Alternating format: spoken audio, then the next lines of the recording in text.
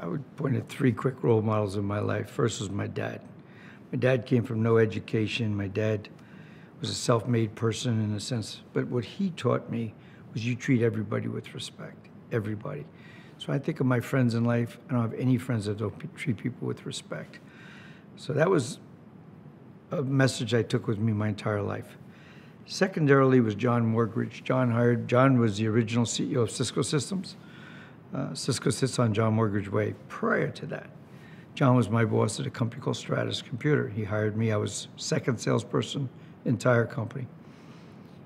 John is a renowned person for his ethics, for his, you know, he, when Cisco started as an example, they were in East Palo Alto, murder capital of the United States. And there's a report that came out that they had a terrible school system and their people can't learn, obviously a racist comment. And John had one of his top people get, he gave him a year off to go work in that school. They donated equipment. John's wife worked in the school. And there was a big story about an enormous turnaround. He did on one condition you don't talk about us. He was proving a point that if you give people the tools, there was nothing in that. He didn't want anything for Cisco.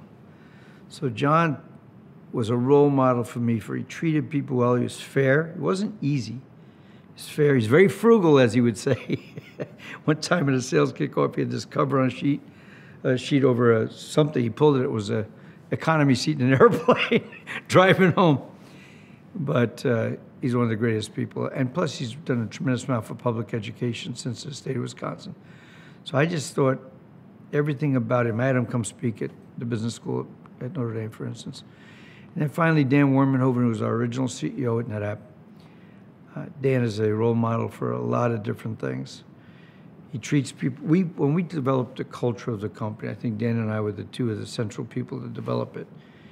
What was so great for me is I found someone who, who same values. We're going to have a high performance culture. We're going to treat people fairly. We're going to respect them. We're going to appreciate them. We're going to take care of each other, but we're going to go for greatness. The two of us, James Lau and Dave Hitz, were the other founders. But Dan Warmenhoven, 15 years as a spectacular CEO in Silicon Valley. There aren't that many 15 years. John and he, were, I don't think John made it that long. But those two I, really, really had an impact on my life.